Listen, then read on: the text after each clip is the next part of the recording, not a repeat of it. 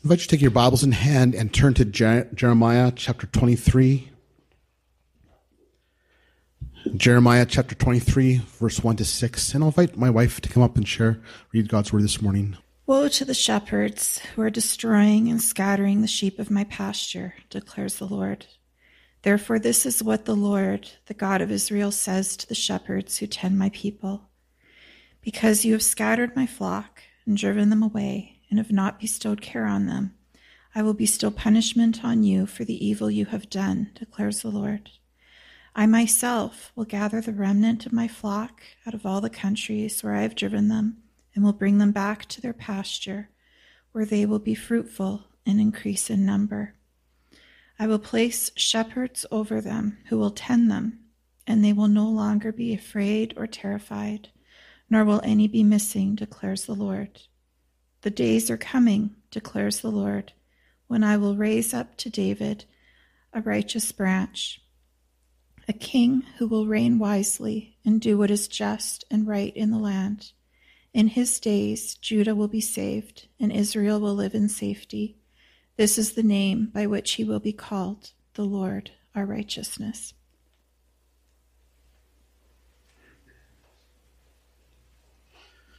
Let's pray. Lord Jesus, we thank you for these words that, that you've given to us more than 2,000 years ago. It spoke to a time of when you would come.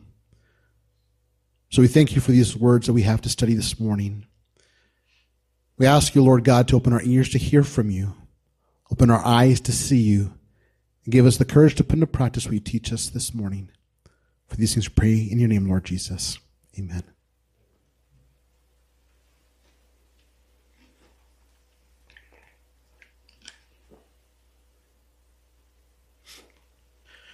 Well, this seems to be an interesting passage, doesn't it? Kind of an odd passage for Christmas, don't you think? When it talks about judgment and some doom and some gloom, kind of seems odd, doesn't it? But yet, this passage is actually a prophecy of someone who's to come, a shepherd who's going to come to lead a people of Israel, to lead them back to the place that God wanted them in relationship to Him. My wife loves to do some study on her family tree. And because that, I try to do some of my own. Actually, my wife has done most research for my family tree study, which was hard to find some information, but my wife, my wife loves to find that information about past families and how families have come together through family tree. In this passage, it actually speaks of a family tree too. In one verse, it talks about David, how the, there's going to be a branch that comes from David who's going to come and do an amazing thing. Not just for the people of Israel, even though that's the context of our passage this morning, is more than just for the nation of Israel. After all, remember, God gave a promise to Abraham and said to Abraham, I'm going to make you into a great nation by which all nations would be blessed. And today we know that how all nations have been blessed by the nation of Israel. So this morning we're actually looking at a little bit of a family tree this morning. One of the line of David who would usher in the greatest king, the king of all kings. I've entitled this sermon this morning, The Branch of the King of Kings. We know that there's been many kings throughout history, but there's one king who stands above all kings because of the great royalty he has because he is God. Our passage this morning begins, first of all, with a warning. Let's read these words again together. Verse 1 and 2 says, Woe to the shepherds who destroy and scatter the sheep of my pasture, declares the Lord. Therefore, thus says the Lord, the God of Israel, concerning the shepherds who care for my people, you have scattered my flock and have driven them away and you have attended to them. You have not attended to them. Behold, I'll attend to you for evil deeds, declares the Lord. What these words mean here is that there was a time that God placed kings over the nation of Israel. You might remember Israel first started off as a nation without a king because God was their king. But at a certain point in their history, they said, you know? We want to be like other nations. We, we want to have a king over us. Now, God warned Israel that that probably wasn't the best idea for them. But yet, they still wanted a king. They wanted to be like everyone else. We often do that sometimes, do in our life, don't we? There's times we're like, we want to be like everyone else. But that's not what God calls us to be like. God granted their request and placed a king over them, but kings weren't always the greatest to treat the nation of Israel. Some were actually downright cowardly. Some did some evil deeds against the nation of Israel. And there are some who kind of walked by the wayside and left them to their own devices. At the writing of this passage, the king of Israel was, King Zedekiah. And wasn't a great king for the nation of Israel either. He was not a man who feared God. And because of that, he ruled the nation of Israel in a way that was not a blessing to the nation and did not point them towards God. That's why God tells the shepherds of Israel, the shepherds being the kings of Israel, there's coming a day where I'm going to judge you because you did not fulfill your role as shepherd of my nation to care for them the way he intended them to be cared for. So that's why there's this woe, a coming judgment for those shepherds. In verse 3, it talks about how God will gather the remnant of his flock, the people of his nation. Verse 3 again says this Then I will gather the remnant of my flock out of all the countries where I've driven them, and I will bring them back to their fold and they shall be fruitful and multiply. Again, at the time of this passage, Israel was actually in exile. There were some who were still in the nation of Israel, but there's many who are scattered throughout the world at the time. And God is saying here, I'm going to bring them all back together. There's a remnant of Israel, we're going to bring them back together. The term remnant here means what is left or the remainder in, in regards to descendants. So God's saying, what is left over of the nation of Israel, I'm going to bring them all back together. I love the term remnant. It's a term that's used throughout Scripture. In the Old Testament, it refers to people of Israel who are in exile. He's going to bring them back, a remnant of Israel. In the New Testament, the term is used of those God's going to bring back to his fold, his whole body, of the church including the nation of Israel at some point. There's prophecies that someday God's going to bring the nation of Israel back into this whole fold to be part of his body, the church. Now we know that there are some Jews who are Christians already. They're called Messianic Jews because, because they are Christians. They still practice Judaism, but it's still an extension of Christianity. We don't have to follow the old practices of the Old Testament. They still do them in remembrance of their heritage, but they recognize that each of those festivals, festivals they practice points them back to Jesus.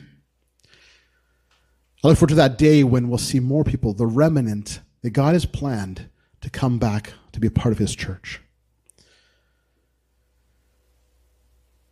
Then, verse 4 talks about how God will set shepherds over them who will care for them. The kind of shepherds that God intended in the first place. Again, verse 4 I will set shepherds over them who will care for them, and they shall fear no more, nor be dismayed, neither shall any be missing, declares the Lord. God's going to set up shepherds who are going to lead people back to God, to restore relationship between God and his people. This lands to the very next paragraph. It gets to the heart of what God is teaching us here this morning. That shepherd who's going to be appointed is Yahweh. That is God, who would become Jesus. So not become, he is Jesus, who would come and take place on the cross for our sins. That's the whole point of this morning. One single point a king is raised up. Verse 5 gives us those key words. Behold, the days are coming, declares the Lord, when I'll rise up for David a righteous branch, and he shall reign as king and deal wisely, and, sh- and shall execute justice and righteous in the land. There's a promise that God gave David, a covenant he made with David and said, There'll always be someone sitting on your throne, someone from your line. But as we know, there was a time in history where some of the kings fall short. And after Zedekiah, there was actually no king on the throne of David. But that doesn't mean that there wasn't a king still. That king is Jesus. He came in the form of a babe 2,000 years ago. The very reason why we celebrate this season. Jesus came the form of a babe, the king of all kings. So these words in verse 5, when it says here, Behold, days is coming, declares the Lord, when I will rise up for David a righteous branch. That is the righteous branch. That is Jesus Christ, who has come to be King of kings and Lord of lords. It makes sense because it says he'll deal wisely. He will deal wisely with all of, of, all of mankind. That's why, again, he came and died on the cross for our sins. He'll execute justice. I know in our culture we love the term justice, don't we? We want justice upon those who do wrong against us. We don't necessarily want justice for ourselves. But whenever someone does wrong to us, we want justice for ourselves, don't we? But God is the righteous judge of all. There's some people who will say sometimes in our world that, well, God isn't just because look at all the evil that happens in this world. Look at all the bad things that happen to kids and ch- children.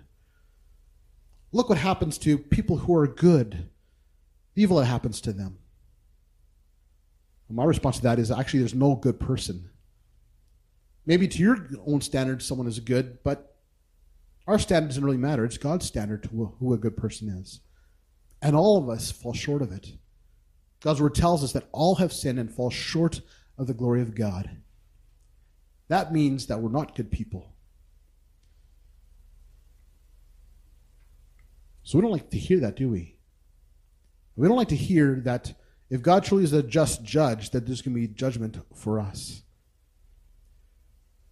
But He is a just judge. All the sin of this world has been penalized has been penalized by Jesus dying on the cross for our sins. So all we need to do is accept that gift of salvation then and turn to Him, Lord Jesus, forgive me of my sins. I recognize I'm a sinner. And I surrender my life to you. When we do that, Jesus forgives our sins. See, it shows that He is a just God. Our sins had to be paid for, there's a penalty for it, but still, the penalty has been paid. You don't have to pay for the penalty for your sin anymore.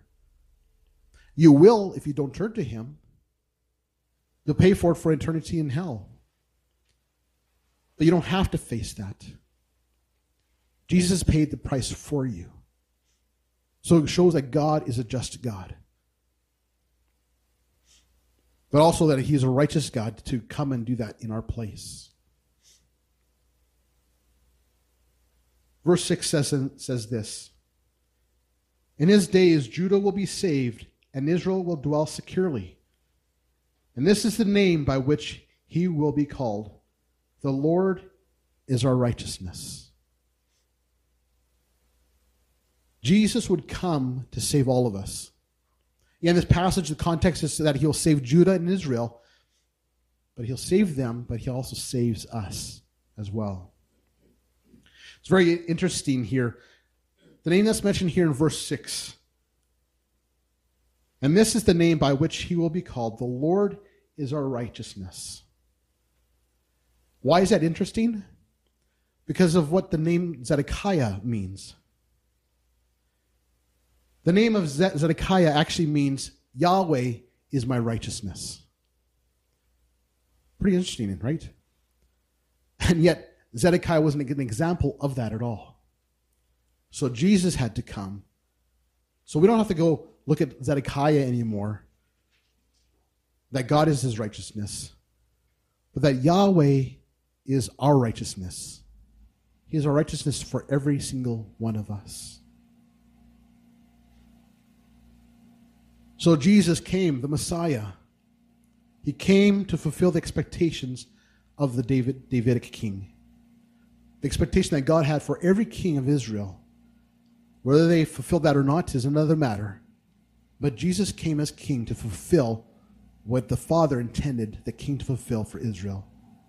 What God intends for the shepherd to fulfill for all of mankind. We have this picture in the season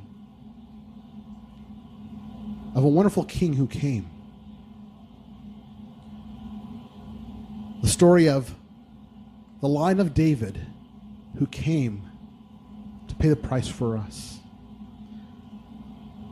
This Christmas season, we remember what Christ has done for us, but we remember that he came. I just want to share that story with you a moment now to remember as we have this Christmas season of our birth of our Lord and Savior. The story goes like this There was a young woman by the name of Mary who was visited by an angel one day and told her how blessed she is and how blessed the nations will be because of her and how she would be remembered throughout history because of how God was about to use her. The scriptures tell us about how she was nervous and scared. And the angel told her, You don't need to be afraid. For what is conceived in you is of the Holy Spirit. Something wonderful is about to take place. Shortly after that, there is a man named Joseph. And we know Joseph that he was betrothed to Mary, and Mary was betrothed to him. They're in essence married, but they weren't living together yet.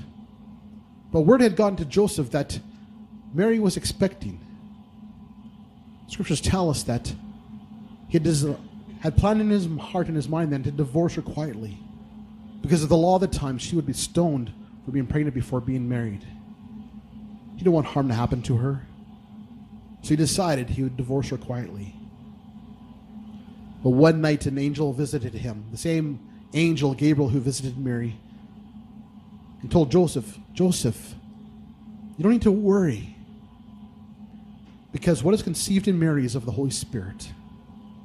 Take your wife. Because what is con- conceived in her is one who would come and save your people from their sins. This child who is to be born is of the Davidic line we actually see in two different genealogies in Matthew and Luke, one through the genealogy of Mary and one through the genealogy of Joseph of Joseph, of how Dave or how Jesus is of the line of David. From this couple, conceived of the Holy Spirit, would be the child who would come and save the entire world. There's joy surrounding this announcement, though. Mary, for a time, went to visit her aunt Elizabeth, who also had amazing news. She was barren. She couldn't conceive a child, but yet an angel came and visited Elizabeth's husband, told him, You'll have a child too. And his name will be John, and prepare the way for the Messiah. The scriptures it tells us how when Mary went to visit Elizabeth, the child instead of instead of Elizabeth jumped for joy in the womb that child, John, in his spirit knew that what it, the child growing in Mary was a savior of the world.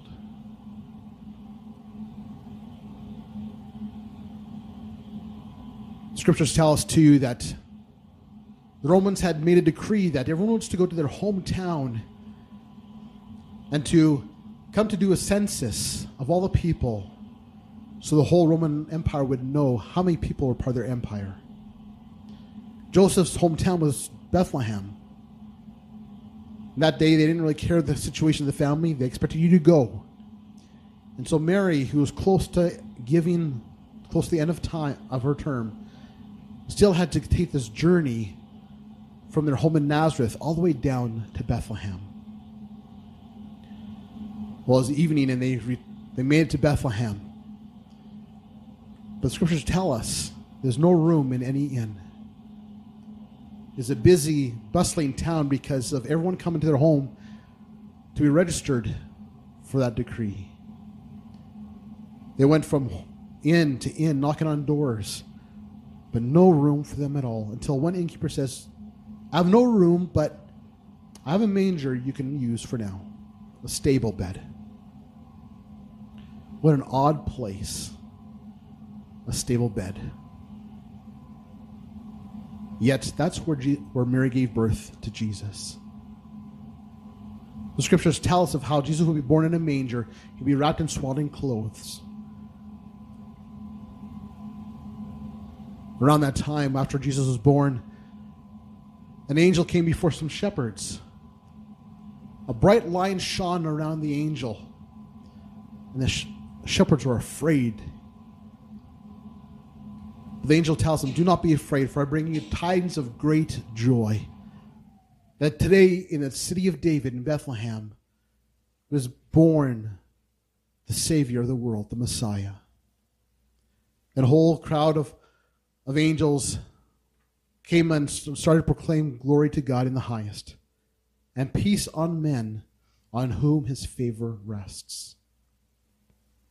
After the angels disappeared, they scurried off quickly. I don't know what they did with the sheep, but they all went quickly to the town of Bethlehem and found the manger where the Savior of the world lay. They were honored and surprised. Such lowly men, probably some of the lowest men of their culture, that God would bless to give this announcement. From there, they went out from the manger and declared to the whole town, sharing of the good news that the Messiah had been born. Messiah Jesus had been born. The child who was born to be a king. Not just any king, the king of all kings. From the line of David to sit on the throne for eternity, to be our king, to be our savior and our Lord.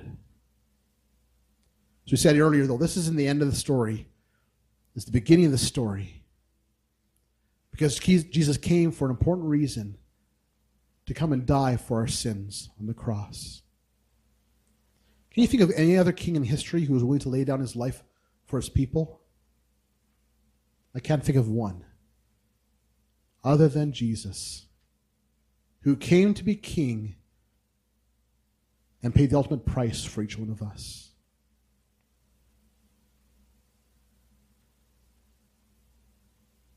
The point of the Christmas story is that Jesus came to die for us. I want to give us three challenges this morning based on what we've heard from Jeremiah, but also remembering the Christmas story. The first is this recognize that Jesus is the King of Kings who loves you. He was willing to come and die on the cross for each one of us. Even those who weren't willing to accept him as Lord and Savior, he died for them still. Even though they don't have an eternity because they won't turn to him. But he chose to die for every one of us. Second point of action is confess your sins to him and make him Lord of your life. Because he was the only one who's deserving to be Lord of your life. And he's the only one who can take your sins away. Third point of action is remember why Jesus was born and give thanks to him.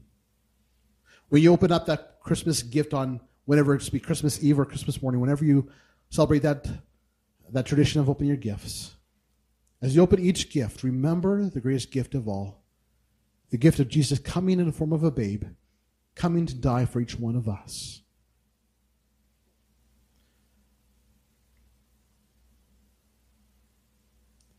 There's a warning for us this morning. If we don't heed these words, there's a danger for us, and a danger of facing eternity in hell.